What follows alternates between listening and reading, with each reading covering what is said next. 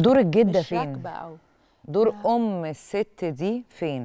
بصي it seems يعني أو باين كده من القصة إنه أهل ال- الأم نفسهم متأثرين جدا بالأفكار اللي أنا بقولك عليها دي. إنه مم. بقى تقعد وتضحي وتربي البنت وما تتجوزش عشان ما ترميش بنتها وبتاع. ففي الآخر الأم مثلا الجدة دي ممكن تكون هي نفسها كانت شايفة إن بنتها غلط إنها تعيش حياتها. وعلى فكرة بنشوف ده كتير جدا.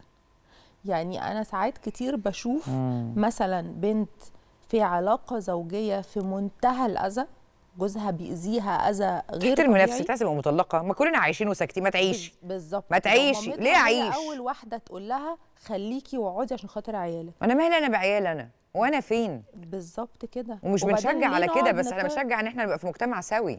بالظبط. وليه نقعد نكرر في سيناريوهات ال ال ال ال الأذى؟ ونبقى كلنا ج- يعني أجيال ورا أجيال من التعساء.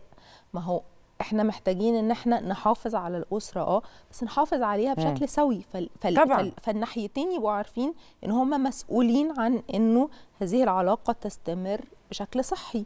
لكن لو الراجل متخيل إنه الست الكويسه لازم تاخد على دماغها وتسكت عشان خاطر عيالها. يا أختي أنا أعرف إن الراجل بيصرف بس. والست بتربي. تشتكي من إيه؟ من إمتى آه. إحنا بنتعب؟ ما إحنا بنخلف وبنقوم. ده إحنا كنا زمان بنخلف ونقوم نعمل العيال أكل. بتشتكي ليه؟ إيه ده لا وحاجات أكتر من الثقافة كده؟ بكتير بقى إنه آه، يعني يبقى بيعمل حاجات كتير جدا وبعدين طب بس احمدي ربنا أهو بيصرف عليكم أو بس احمدي آه. آه. ربنا ده ما بيخونكيش أيوه بس طب بيضربني هو لازم يخونني يا طنط؟ يعني معقولة؟ آه، ما معقولة هو يا ما جماعة؟ ضربكيش طب بس ها. هو يعني يعني ليه لازم تبقى في كارثة ربنا يعني يبارك له آه عارفة اللي هو ميرسي إن أنت ما ضربتنيش ميرسي إن أنت ما بتخونيش ميرسي إيه بقى ساعات بيبقى بيعمل كل الحاجات وبرضه بيتقال لها بس لو انت مشيتي مش هتلاقي حد. آه لا ومش. هتلاقي حد يصرف عليكي. لما لازم تشتغلي الأول عمرك هتشتغلي انت عمرك ما اشتغلتي ولا عرفتي شغل. يبقى كملي. وولادك هيتشردوا ومش هيلاقوا ياكلوا. يعني يتشردوا. تخويف كتير قوي من القصة. لا النهارده أنا شايفة قصة إن أم اتجوزت. بس هم اتجوزت بس. عالجي لي بقى اللي حصل ده كله. يعني رضوى دي هتحتاج قد إيه رضوى علاج؟ محتاجة علاج. يعني هي الفكرة إنه تصنيفها إيه في علم النفس؟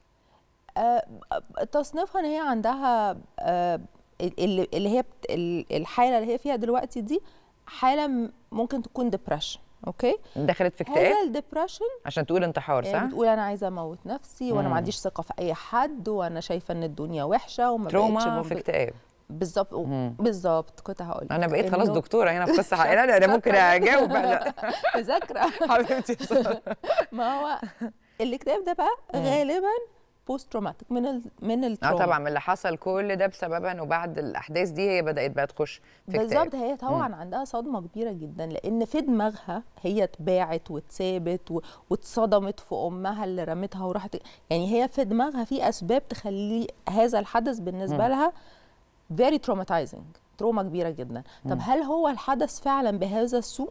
لأ لكن هي شافته بهذا السوء؟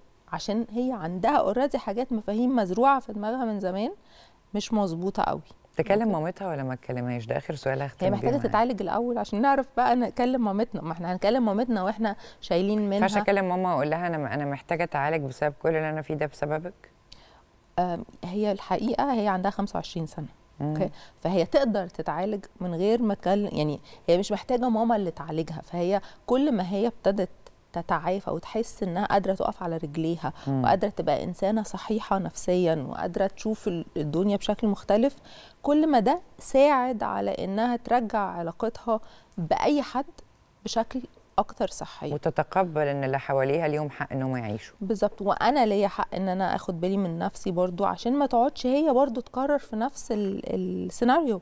صح. يعني هي محتاجة إن هي بقى تكسر هذه الحلقة من المفاهيم الخ- الخاطئة. إنه لا يا رضوى أنت من حقك إنك تتجوزي ومن حقك تبقي سعيدة ومن حقك تعيشي كويسة. وإن أنت لو بقيتي إنسانة سعيدة وعايشة كويس ومرتاحة وناجحة ده لا يعني إنك ما بتحبيش ولادك. طب ده يعني إن أنت أم صحيحة نفسية وهتربي أولاد أصحاء.